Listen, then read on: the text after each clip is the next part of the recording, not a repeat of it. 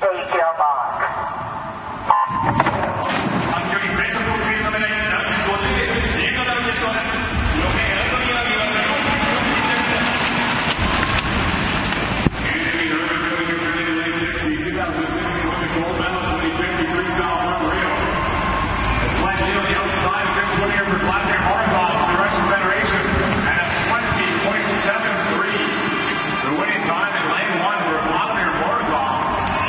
Second, the Benjamin Proud of Great Britain and a tie for third at 21-42 for Ross.